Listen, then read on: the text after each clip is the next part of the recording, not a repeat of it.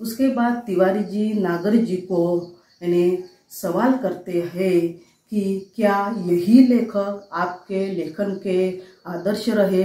तब नागर जी बताना चाहते हैं कि नहीं, ये लेखक मेरे आदर्श नहीं तो मुझे पढ़ने में बहुत आनंद मिलता था, रुचि उनमें मुझे थी, इसलिए मैंने यह यानी अनेक बहुत सारे उपन्यास मैंने पढ़े हुए हैं।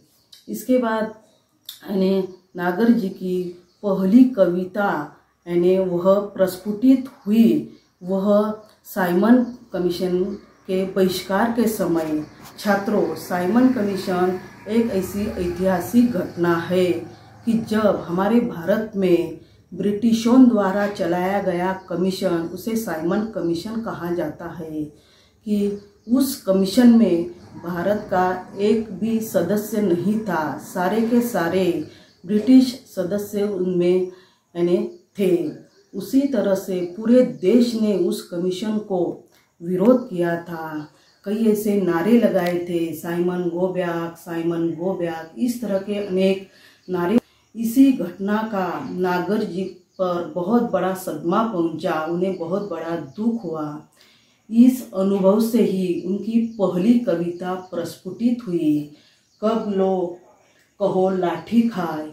इस कविता से ही उनका लिखने का पहला आरंभ शुरू हुआ।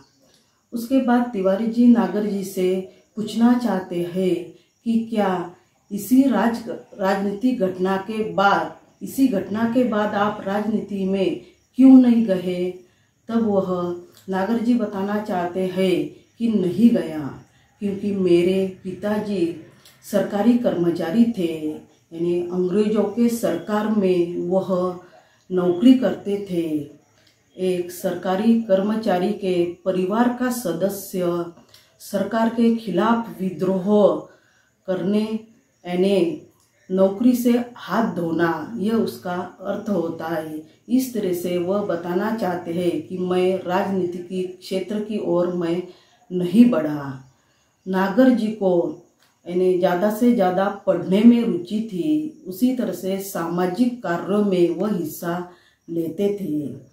उनके बाद उनकी पहली कहानी छपी, अपशकुन।